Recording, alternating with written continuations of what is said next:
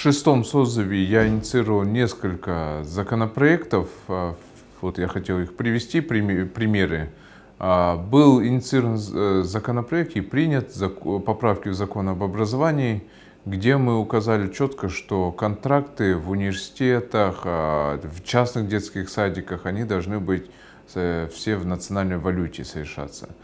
И еще мы, а, помимо этого, указали то, что для лиц с инвалидностью теперь обязательно должны выпускаться специальные книги – Помимо этого был э, закон поправки о защите депозитов. Э, мы увеличили сумму страховых выплат. Теперь у нас гарантированная сумма это 200 тысяч сомов. Я объясню здесь. Если, не дай бог, банк какой-нибудь признает себя банкротом, то вам правительство на сумму 200 тысяч сомов, оно, по крайней мере, выплатит э, вам эту сумму. Если у вас 250 тысяч, то только 200 тысяч вам покроет, а 50 тысяч к сожалению, это уже через суды и так далее будет, ну, через эти процедуры вы только тогда можете получить.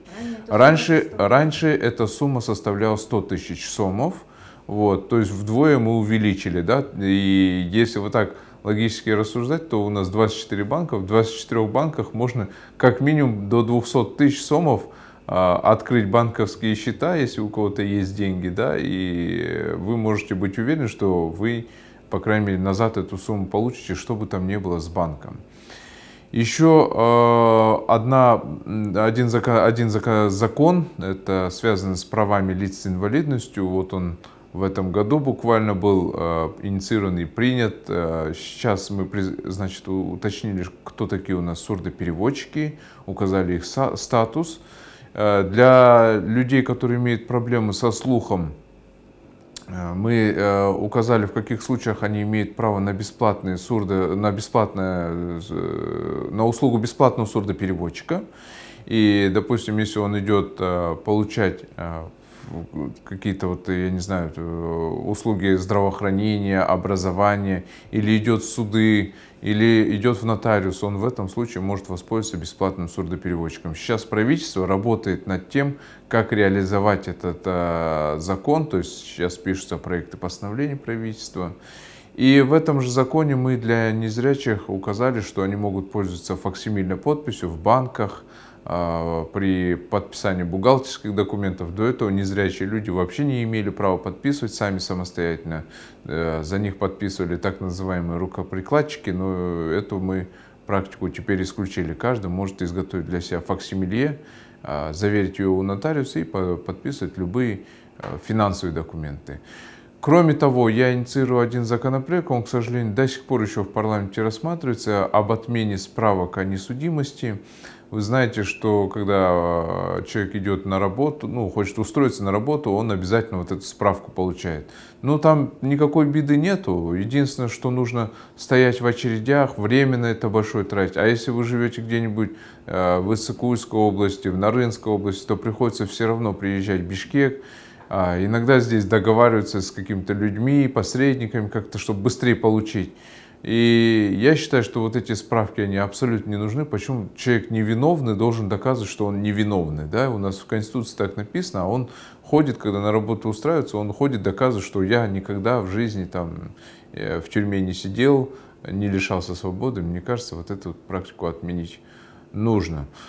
Ну и э, сейчас еще за, в стенах парламента рассматривается закон. Сейчас говорят, что якобы эти справки сами по себе отпадут, но еще пока не отпали, еще пока до сих пор эти справки выдаются. И вот я, допустим, здесь, когда общественных помощников, как стажеров беру, Э, они даже идут получать справку, я вижу, как они мучаются, дней 10, 15 ждут. А иногда, чтобы ускорить, они идут, тоже там платят деньги, вот, ну, также стоят в очередях. Ну, из-за какой-то маленькой справки столько времени мы затрачиваем. Причем, ну, вы знаете, это жизненное время человека, да, это бесценно должно быть. А, ну, еще один законопроект рассматривается в стенах, он первое чтение прошел. Это о том, чтобы у нас во всех школах было пятидневное обучение. Э, почему это нужно сделать? Чтобы вот э, субботу, воскресенье э, и ученики, и учителя могли все равно отдохнуть, учителя могли отдохнуть действительно от учеников, а ученики могли бы, вот, допустим, подготовиться к заданиям, могли бы там с родителями время побольше проводить.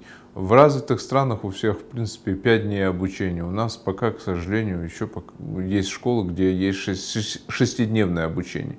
Но дело сдвинулось с мертвой точки, уже, в принципе, 80% школ переведены на пятидневное обучение. До вынесения законопроекта многие сопротивлялись, но сейчас Министерство образования, в принципе, приняло приказ, и сейчас потихоньку-потихоньку школы переходят на пятидневные. То есть законопроект еще пока не принят, но он уже э, меняет да, уже сознание там, Министерства образования. Но если говорить, за, за, законопроектов было очень много, э, и сейчас некоторые из них я разрабатываю, да, в принципе, эта работа, она постоянно ведется, и они не берутся не просто вот там с головы, да, а исходя из тех проблем, которые мы, мы сейчас имеем. Вот. Но хочется, чтобы, конечно, многие вопросы сразу решались, но так не бывает. У нас, видите, как, когда закон принимается, чтобы этот закон четко и полностью работал, еще и правительство должно принять несколько постановлений. Вот э, у нас большая вот эта бюрократическая проблема, очень большая. Закон сразу, с момента принятия, он не подлежит исполнению, а еще к нему прилагаются вот эти всякие постановления и так далее. Но это наша правовая система, очень сложная, очень забюрократизированная.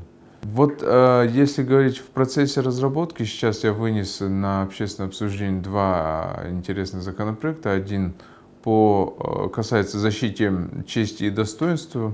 Там я хочу определить э, минимальную пороговую сумму, которая подлежит взысканию с э, человека, который нанес, я не знаю, ущерб имени, доброму имени другого человека.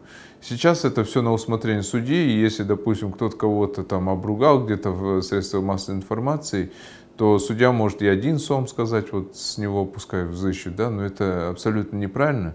И я указываю минимальную пороговую сумму. Ну, конечно, если, допустим, э, сам истец, он обратился в суд и просит один сом, если он свое имя оценит в один сом, то, в принципе, его суд ну, может удовлетворить. А так, в целом, э, должна быть минимальная пороговая сумма. И порядок опровержения информации – которая является недостоверной, она тоже, э, мы, как бы я тоже хочу его поменять. А вот у нас сейчас, допустим, если человека везде сказали, что он плохой человек, там обругали его, про него рассказали всякие небылицы, это перепечатают все. Но когда ты подаешь в суд, ты подаешь только на, на одно средство массовой информации, которое самое главное было. А вот эти все перепечатывающие они средства массовой информации, они не несут никакой ответственности, они у себя не удаляют. И вот я прописываю там такой момент, если кто-то перепечатал, то он также обязан потом э, у себя, значит, указать, извиниться, да, перед этим человеком. И ссылку на опровержение о том, что да, эта информация недействительна, во всех перепечатках должна быть размещена. Ну и это касается и телевидения. Если телевидение где-то у себя, вот, допустим, вот РК кого-то или ну, какой-то канал, допустим, про кого-то очень плохой репортаж сделал, то другая сторона, если выиграла, то это телевидение должно у себя не только просто новость у себя показать и все, извиниться, да, а они должны будут там каждый час публиковать там в течение 20, 24 часов эти извинения. Ну, потому что такой ущерб иногда наносит доброму имени человека, и все, и про него считают, что он самый негодяй последний, хотя это на самом деле может и не так. И э, еще одна инициатива, вот сегодня я ее тоже опубликовал, это э, о продаже у нас пятого канала, он, к сожалению, не стал у нас парламентским, э, это надо признать, у нас телеканал «Пирамида» сейчас, э, в принципе, все э, наши репортажи из парламента показывают. Поэтому я считаю, что пятый канал он не должен быть на государственном э, финансировании или вообще на государственной шее. Его нужно, я думаю, продать, пусть он будет частным, пускай делать из него развлекательный канал. Сейчас я еще разрабатываю один законопроект, еще немножко осталось, а, касается дорожного движения. Э, этим законопроектом я хочу, чтобы каждый гражданин следил за другим гражданином, что происходит на дорогах. Если он зафиксировал себя на видео, что другой водитель нарушил правила дорожного движения, если там будет все четко видно на видео, и он это видео отправляет ДПС, когда ДПС э, привлекает нарушителя к штрафу, чтобы вот с этого штрафа тот, кто зафиксирован на видео, он мог получать определенный процент. Я думаю, тогда мы немножко успокоим всех, потому что гаишников у нас не хватает. Э, гаишники всего э, совсем они э, правонарушением не смогут справиться в любом случае, хотим мы этого, не хотим. А когда общество само себя будет контролировать, мне кажется, это уже даст большое воздействие. Ну, если говорить о бюджете 2018 года, действительно, это финансовый очень-очень важный документ. Я, конечно, тоже постарался некоторые вещи туда внести. Посмотрим, сейчас пройдут, они не пройдут во втором чтении. Ну, есть вещи, которые, о которых правительство постоянно говорит, но, к сожалению, в этом документе эти вещи не зафиксированы. Я просто объясню. А, родители детей-инвалидов, они постоянно просят ну, определенных выплат за то, что, ну, как по уходу за ребенком, да. Я думаю, это справедливо, потому что вот, э, обычно, у, если в семье рождается ребенок-инвалид, к сожалению, многие эти семьи распадаются. Да? Мужья становятся, я не знаю, они перестают быть мужчинами, они убегают из семей, и женщина остается одна с этой проблемой. Она, во-первых, не может пойти на работу, потому что за ребенком нужен специальный уход, да, и на самом деле за ним нужен уход, да, а не может устроиться, и у них денег нет. И вот это вот получается круговая поруга, она из этой бедности вырваться не может. Поэтому государство, я думаю, должно как бы оплатить ее вот этот труд по уходу за ребенком.